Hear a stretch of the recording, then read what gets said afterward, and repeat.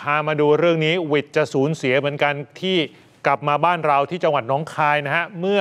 เรือที่จะไปลอยอังคารเกจิดังที่เพิ่งมรณภาพไป อยู่ๆล่มกลางแม่น้ำโขง คุณผู้ชมลองไปดูคลิปนี้นี่ฮะเป็นเรือที่ไปลอยอังคารเนี่ยนะครับ บริเวณหน้าวัดหินหมากเป้งอำเภอศรีเชียงใหม่ จังหวัดหนองคาย ดูนะฮะคือไปลอยอังคารหลวงปู่พิชิตชิตตมาโร ประธานสงฆ์วัดป่ากรุงศรีเจริญธรรมแล้วท่านเคยเป็นอดีตเจ้าอาวาสวัดหินหมากเป้งด้วยสักพักหนึ่งดูฮะโอ้ยว่ายน้ำเหรอครับเรียบร้อยบวกแล้วนะเจี๊ยบเจี๊ยบมันไหลได้ไหม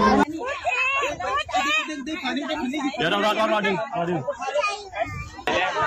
โอ้ยกลางแม่น้ำโขง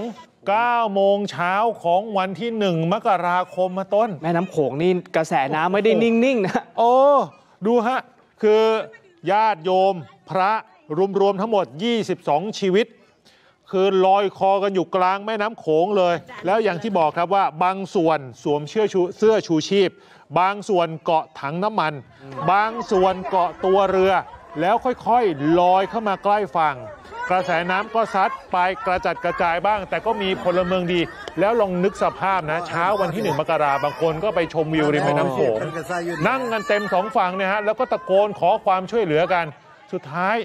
กระโดดลงไปช่วย คนว่ายน้ำแข็งก็ลงไป แล้วก็ไปพาตัว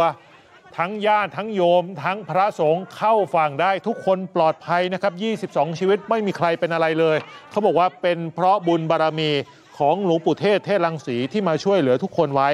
รวมไปถึงบารมีของหลวงปู่พิชิตด้วย ซึ่งหลวงปู่พิชิตเนี่ยท่านละสังขาร 25 ธันวา ประชุมเพลิงไป 31 ธันวา แล้ว 1 มกราเนี่ยก็คือทำพิธีลอยอังคาร และตอนที่มันลอยไปกับกระแสน้ำแบบเนี้ยครับคือตอนนั้นน่ะตกใจมากเลยนะกลัวว่าถ้ากระจัดกระจายกันไปคนละทิศคนละทางจะช่วยกันลำบาก แต่ยังดีเดชะบุญช่วยมาได้แล้วทุกคน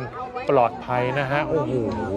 สิ่งที่ดีที่สุดในเหตุการณ์นี้คือ มันมีเสื้อชูชีพอยู่บางส่วนใช่ ถ้าไม่งั้นเนี่ยน่าจะเกิดเหตุการณ์ใหญ่กโอ้ว่านี้ แล้วดูเดี๋ยวโอ้โหกระจัดกระจายกันไปหมดเลยค่ะ แล้วก็ส่วนใหญ่เป็นผู้ใหญ่บ้างเป็นผู้สูงอายุบ้างด้วย โอ้